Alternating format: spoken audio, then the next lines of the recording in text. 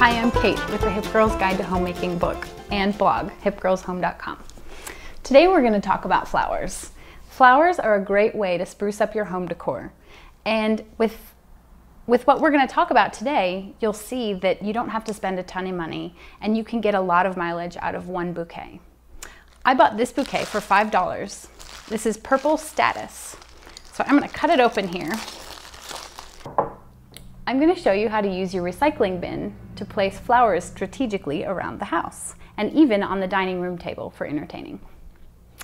So first thing, we're gonna, you, you'll see that this flower variety, Statice, is like large sticks. But whatever flower you get, you will figure out how to cut it up. In my book, I mention various varieties that are good for long lasting sprucing of the home. So check that out. So first things first, I'm gonna figure out which ones that I wanna keep tall for my tallest vase here, vase if you will. And it looks like this one is a good option. I want a tall skinny one. So I don't want it to be too short. So I want something, and I don't want to have to put a ton of water in, so I don't know if that's going to work there. But this is an excellent option. This one looks like it fell off.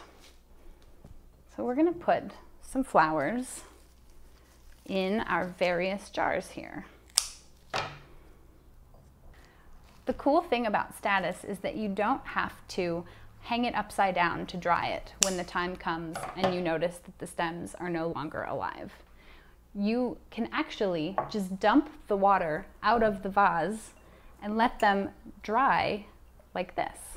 And you'll notice that your statice stays vibrant and the stems stay sturdy the whole time. That's pretty cool. Okay, so now we have for one $5 bouquet, we have five places where we can spruce up our house.